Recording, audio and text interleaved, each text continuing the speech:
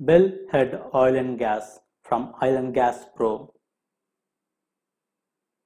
Subscribe Oil and Gas Pro and keep in touch with us.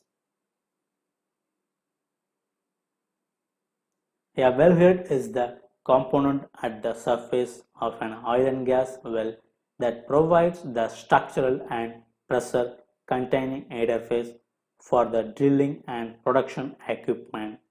The primary purpose of wellhead is to provide the suspension point and pressure seals for the casing string that run from the bottom of the hole section to the surface pressure control equipment. When the well has been drilled, it is completed to provide an interface with the reservoir rock and a tubular conduit for the well fluids.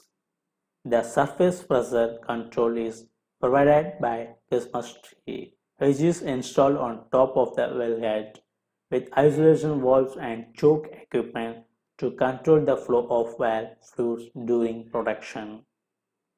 Wellheads are typically welded onto the first string of casing, which has been cemented in place during drilling operations to form an integral structure of the well. In exploration well that or later burnt the wellhead may be recovered for refurbishment and reuse. Offshore where a wellhead is located on production platform. It is called a surface wellhead and if located beneath the water then it is referred to as a subsea wellhead or mudline wellhead. The primary components of wellhead system are casing head, casing spool, casing hangers, choke manifold,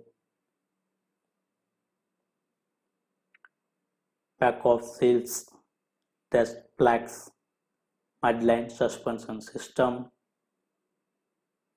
tubing heads, tubing hangers, tubing head adapter.